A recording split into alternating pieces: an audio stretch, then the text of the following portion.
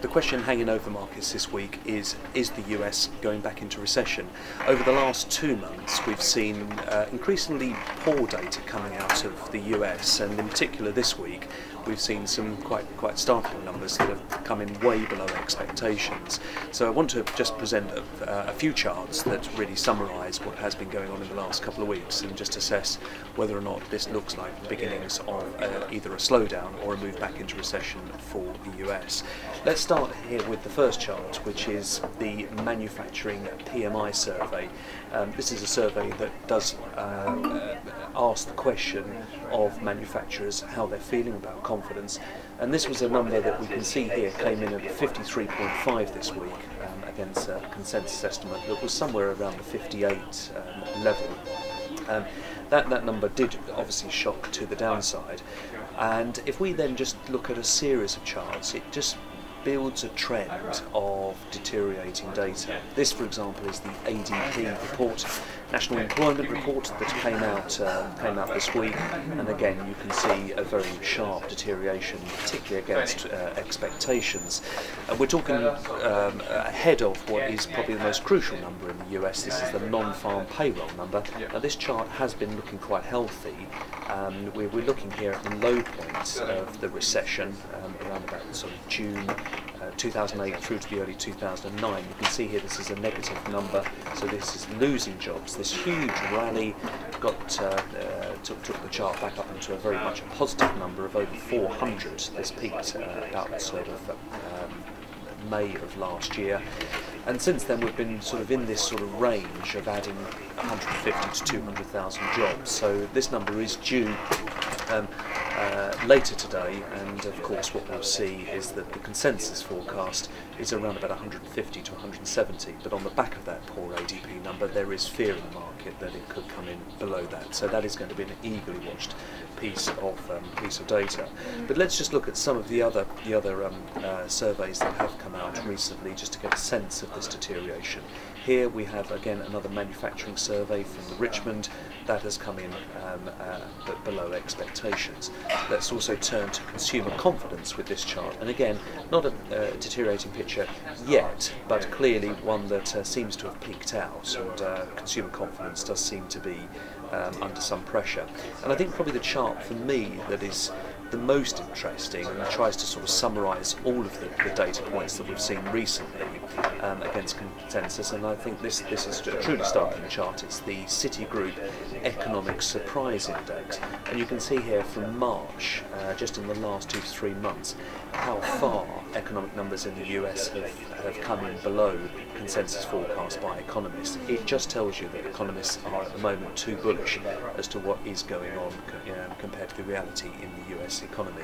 So that is a chart that um, really is in a very severe downtrend. Now what is this doing to financial markets? I think the first chart that I will pull up is the uh, yield that is on the 10-year Treasury, um, because I think this is the, the, the sort of heartbeat of uh, feeling about the US economy. It is of clearly the most liquid market, and yields on US Treasuries have moved down from that uh, March high point of 3.6% to below 3%, uh, coming in at 2.9% here.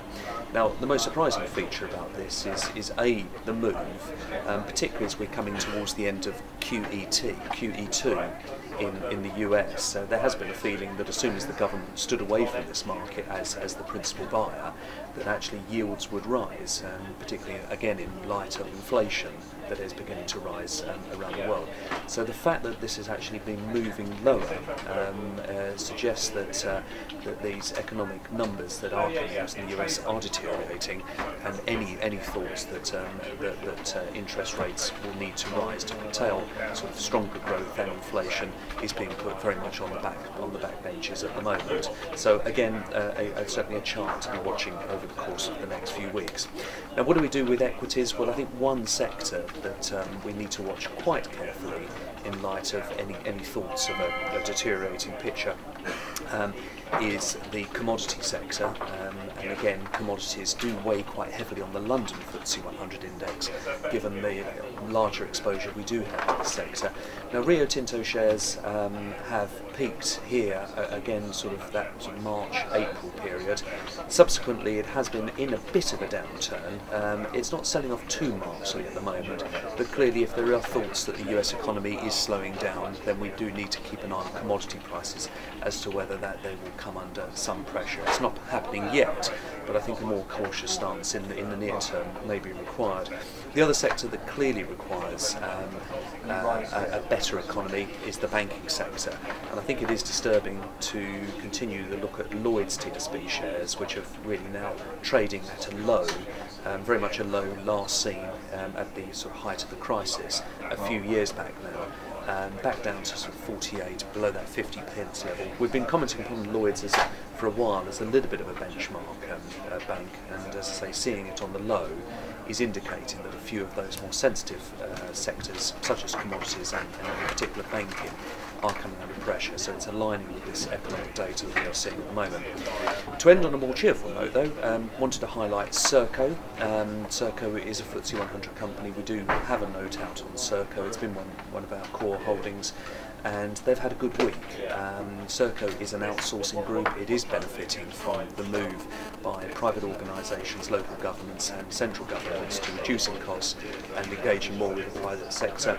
Serco announced uh, a decent sized acquisition this week and the share price has responded favourably. So that's against a weak trend that there are still stocks that are performing well on both an absolute and relative performance.